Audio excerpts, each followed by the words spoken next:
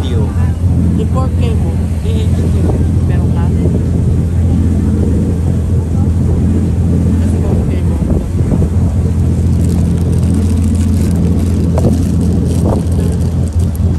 Why not you go down to the Start, start, start, start to the O, hayaan mo na. One hour? Paano di ka mahilo?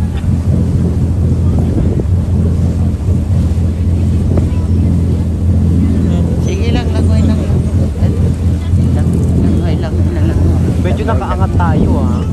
Nakaupo pa dyan sa dulo.